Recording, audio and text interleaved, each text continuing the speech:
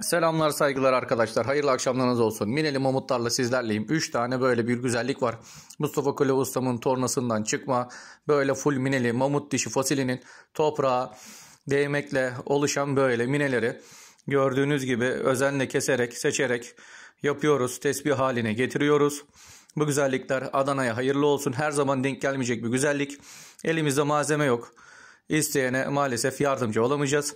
Malzemesi denk gelirse alırız, satarız. Hiç fark etmez. Her türlü tespit de yaparız. Mineli Mamut bu şekilde arkadaşlar.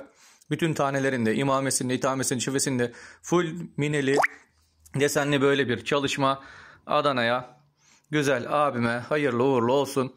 Şimdi diğer tespitleri de göstereyim arkadaşlar. Gördüğünüz gibi böyle bir güzellik.